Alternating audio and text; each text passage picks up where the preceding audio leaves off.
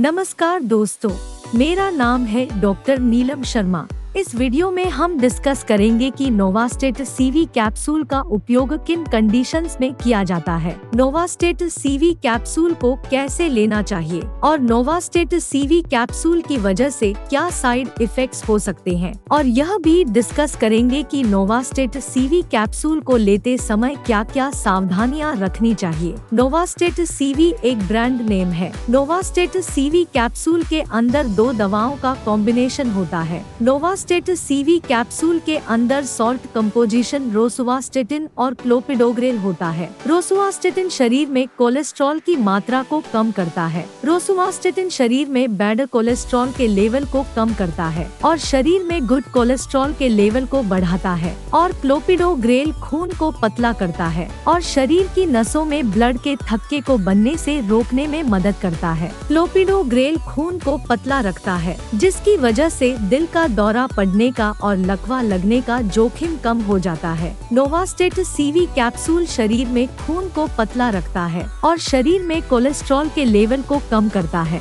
दोस्तों, अगर आपको वीडियो पसंद आ रहा है तो कृपया वीडियो को लाइक करना व चैनल को सब्सक्राइब करना न भूले। साइड इफेक्ट्स की बात करें तो वैसे तो ज़्यादातर व्यक्तियों में नोवास्टेट सीवी कैप्सूल की वजह से कोई साइड इफेक्ट्स नहीं होते हैं। लेकिन कुछ परसेंट व्यक्तियों में नोवास्टेट प्रोस्टेट सीवी कैप्सूल की वजह से कुछ साइड इफेक्ट्स हो सकते हैं, जैसे सिरदर्द होना, बदहजमी होना, शरीर में कमज़ोरी व थकान होना, नाक से खून आना, पेट से गैस निकलना कब्ज होना और कुछ व्यक्तियों में दस्त होने की समस्या भी हो सकती है। नोवास्टेट सीवी कैप्सूल की वजह से ब्लड शुगर लेवल अधिक हो सकता है। नोवास्टेट सीवी कैप्सूल की वजह से कोई चोट लगने के बाद ब्लीडिंग होने का जोखिम अधिक हो जाता है। अगर आप नोवास्टेट सीवी कैप्सूल को ले रहे हैं और आपको अगर ज़्यादा चोट लग गई है तो आपको तुरंत ही नजदीकी हॉस्पिटल में जाना चाहिए, ताकि अधिक ब्लीडिंग होने के जोखिम को कम किया जा सके।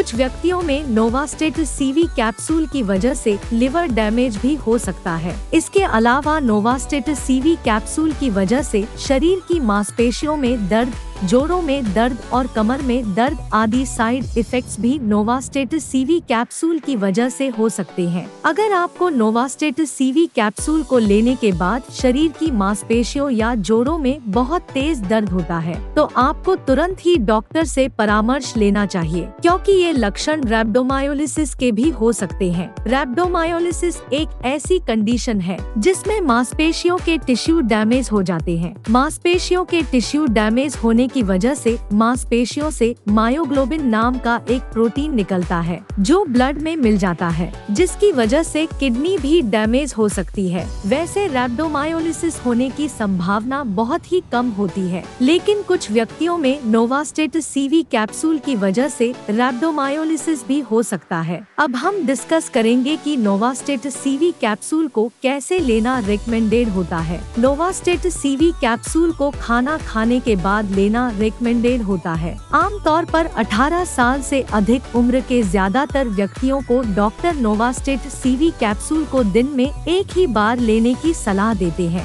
नोवास्टेट सीवी कैप्सूल की डोज उम्र, शरीर के वज़न और बीमारी की गंभीरता के आधार पर कुछ व्यक्तियों में इससे अलग भी हो सकती है। अब हम डिस्कस करेंगे कि नोवास्टेट सीवी कैप्सूल को लेते समय क्या क्या सावधानियाँ रखनी चाहिए। अगर किसी व्यक्ति की कोई सर्जरी होने वाली है या दांत निकलवाना है। तो ऐसी स्थिति में डॉक्टर सर्जरी करने से या दांत निकालने से एक से लेकर दो सप्ताह पहले नोवास्टेट सीवी कैप्सूल को बंद करने की सलाह दे सकता है। इसलिए यदि आपकी सर्जरी होने वाली है या आपको दांत निकलवाना है तो आपको नोवास्टेट सीवी कैप्सूल के बारे में डॉक्टर को बताना चाहिए। पेट में गैस और एसिडिटी को कम करने के लिए उपयोग की जाने वाली प्रोटोन पंप इनहिबिटर्स दवाइयाँ जैसे इसोमेप्राजोल ओमेप्राजोल पैटोप्राजोल और रेबिप्राजोल आदि दवाओं के साथ नोवास्टेट सीवी कैप्सूल को लेना रिकमेंडेड नहीं होता है। इसके अलावा दर्द को कम करने के लिए उपयोग की जाने वाली नॉन स्टेरॉयडल एंटी इंफ्लेमेटरी दवाइयाँ जैसे एसिक्लोफनेक